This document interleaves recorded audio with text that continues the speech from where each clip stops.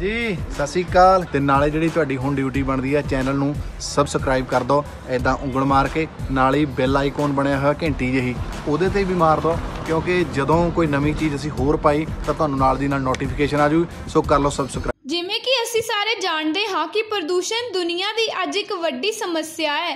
ਹਰ ਰੋਜ਼ ਨਾ ਜਾਣੇ ਕਿੰਨਾ ਹੀ ਕੂੜਾ ਨਾਲੀਆਂ ਤੇ ਨਦੀਆਂ 'ਚੋਂ ਹੁੰਦਾ ਹੋਇਆ ਸਮੁੰਦਰ 'ਚ ਜਾ ਦਫਨ ਹੋ ਰਿਹਾ ਹੈ। ਸਾਡੇ ਵਿਗਿਆਨਿਕ ਵੀ ਹੁਣ ਸਾਨੂੰ ਇਸ ਵੱਧਦੇ ਪ੍ਰਦੂਸ਼ਣ ਕਰਕੇ ਚੇਤਾਵਨੀ ਦੇ ਰਹੇ ਨੇ ਕਿ ਜੇਕਰ ਹੁਣ ਨਹੀਂ ਜਾਗੇ ਤਾਂ ਬਹੁਤ ਦੇਰ ਹੋ ਜਾਵੇਗੀ। ਉੱਥੇ ਹੀ ਜਾਪਾਨ ਦੇ ਸੁਦੂਰ ਇਲਾਕੇ 'ਚ ਵਸਿਆ ਕਾਮਿਕਤਾਸੂ ਸ਼ਹਿਰ ਇਸ ਸਮੱਸਿਆ ਤੋਂ ਬੇਫਿਕਰ ਹੈ ਕਿਉਂਕਿ ਉੱਥੇ ਵੇਸਟ ਨੂੰ ਕੂੜੇ 'ਚ ਸੁੱਟਣ ਦੀ ਬਜਾਏ ਉਸ ਦੀ ਸੁਚੱਜੀ ਵਰਤੋਂ ਹੁੰਦੀ ਹੈ। ਇਸ ਦੀ ਉਦਾਹਰਨ ਹੈ ਇੱਥੋਂ ਦਾ ਰਾਈਜ਼ ਐਂਡ ਵਿਨ ਬਰੂਇੰਗ ਨਾਂ ਦਾ ਇਹ ਪੱਬ ਜੋ ਕਿ ਇੱਥੇ ਆਉਣ ਵਾਲੇ ਲੋਕਾਂ ਦੇ ਲਈ ਖਿੱਚ ਦਾ ਕੇਂਦਰ ਬਣਿਆ ਹੋਇਆ ਹੈ।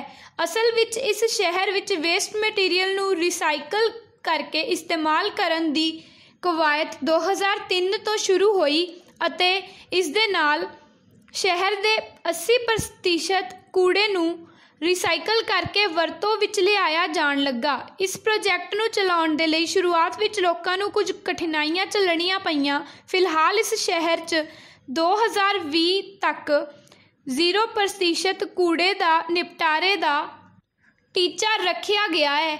ਇਸ ਤਰ੍ਹਾਂ ਜਾਪਾਨ ਦਾ ਇਹ ਛੋਟਾ ਸ਼ਹਿਰ ਪੂਰੀ ਦੁਨੀਆ ਨੂੰ ਸੰਦੇਸ਼ ਦੇ ਰਿਹਾ ਹੈ। ਜੇਕਰ ਸੱਚ ਬੋਲਣਾ, ਸੱਚ ਲਿਖਣਾ ਬਗਾਵਤ ਹੈ ਤਾਂ ਸਮਝੋ ਅਸੀਂ ਬਾਗੀ ਹਾਂ।